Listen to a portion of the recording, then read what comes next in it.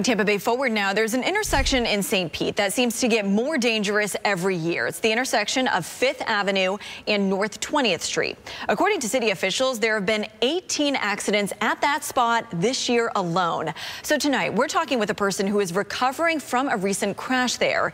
And reporter Eric Waxler is helping her get an answer about when a fix may come.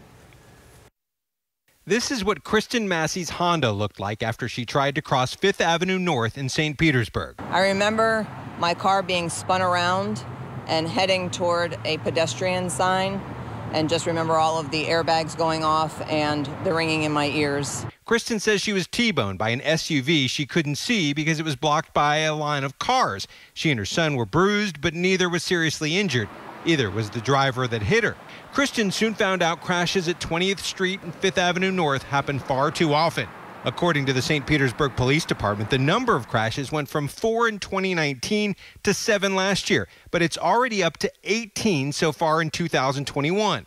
I think part of the problem is the left hand lane, which is goes straight, backs up because the traffic is trying to get onto 275 North during the busy times of the day. City officials tell ABC Action News they haven't had any complaints about this intersection, but intersections with the highest crash numbers are those with higher speeds and higher volumes like this one.